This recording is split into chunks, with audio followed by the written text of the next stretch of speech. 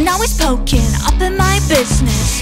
Tell me what's on your Amazon wish list. Like in the bathroom, feeling kinda seasick. No. It's great living on a small island, especially growing up. I think there's a lack of things to do, so you start a band. How am I saying I'm insecure? I wanna go home. Slacker pop for me is pop music for people that don't want to admit they like pop music.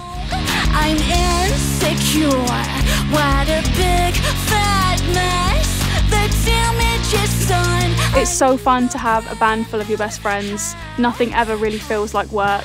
So, yeah, like a permanent lad's holiday.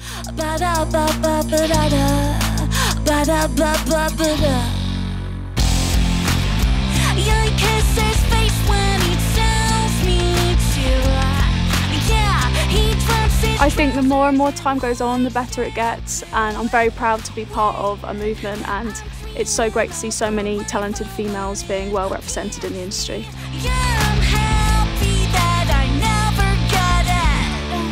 I do a lot of vocal warm ups, um, weird stretches of the hamstrings, because I do a lot of high kicks, you know.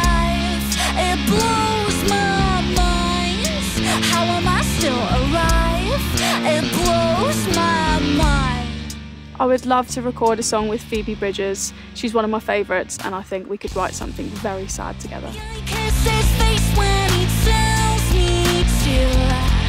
Yeah, he drops his trousers in my shampoo. It's actually not about my real stepmom, I have to say that for legal reasons. It's just about the ideology of a stepmom and how in American movies a stepmom is represented. All my friends have moved away. I don't know why, but I chose to stay. I'm still running the same 5K. I'm I'm so excited about it. For me, it's kind of like just unbuttoning your jeans after a long day. That's the feeling I get when I listen to it. with a fiance. I'm still running the same 5K. I would have loved to have been a vet because I love hanging out with dogs. That's pretty much it. I think next I'll be doing a lot of touring, a lot of travelling, as well as writing more songs for another album.